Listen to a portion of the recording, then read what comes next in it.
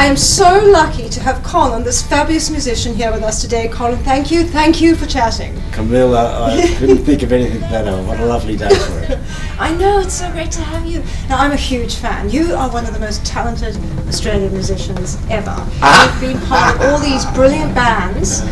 Um, we'll get into that in a second, but how did you come to be in music? Did you like grow up with it? Was it part of your DNA? Uh, well, I think I was just in, I'm born with it, Camilla. I mean, Right. music is my, my life, it's my blood, it flows through my veins. It's, Yeah. uh, it's like anything else.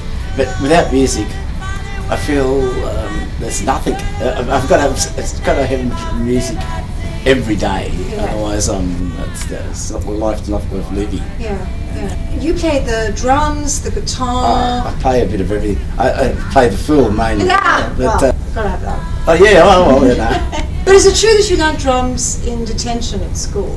Well, uh, uh, they, I used to get sent to detention every day, and there happened to be drums in the room. So if that led to me playing, I'd say well, you should thank the yes. teachers because Oh, oh, yeah, so thank, we thank should all you thank guys. for yes. it. yeah. thank you for helping me. Well, tell me about the Master's Apprentice. You were never in one place for more than uh, 10 minutes or 15 minutes because you were always in demand somewhere.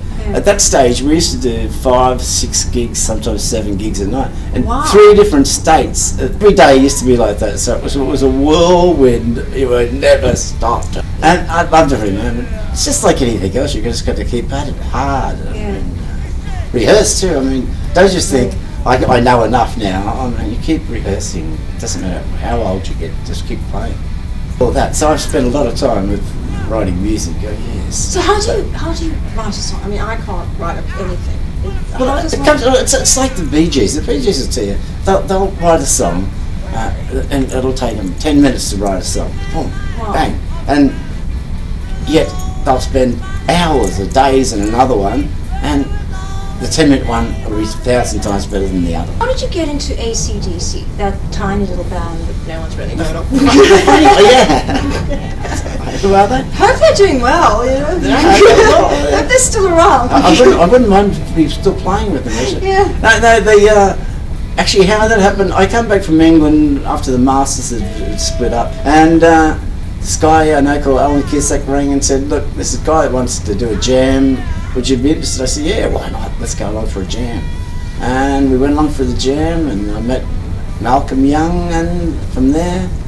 And Oh, wow. it just Gives me started, goosebumps, and and, and what it, and we keeps to come along. And then he said, "My brother plays guitar." He said, "Can't bring him along." So Angus comes, and then he joins the band, and woo! From there, it's just went And you were the original drummer. Oh yeah, Yeah. yeah, yeah. yeah. So did you live the rock and roll lifestyle?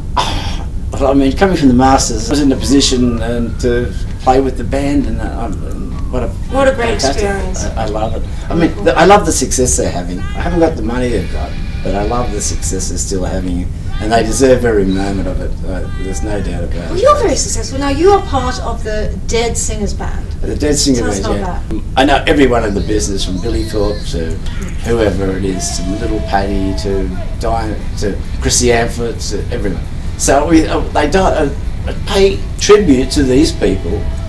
We thought, why not put a show together so we, that we can pay tribute to them and make it a documentary as a as a uh, thing because they are all fantastic musos. They all had Yeah. number one records. They were all the, the craziest people and the loveliest people. And this Dead Singer band, it's just pay, it's paying homage to these people Yeah. for being so, great, and they all were. That was You guys are great. You really are. And it's who who better to pay homage than people actually knew. That's right. I That's mean? that's the thing. That's the, the reason why we do. it. We do we do know them. It's like the rock and roll family. Oh, that's cool. Oh. So, what do you think is the future of Australian music? There's going to be some bands come out of Australia that's going to be the next big thing. Because there's a lot of good. I, I, I, I'd love to. I'd love to get. See, you've, you've, you've, Camilla, you've done something before you're here. Right. You might have started me off. I think it's a good idea. I might get some, pick some musos together and put them together in a Why band. That's a great idea. Yeah, can I come on? Play the triangle. All right. Yeah. But who have you been your big influences in, in your life? You know, music-wise.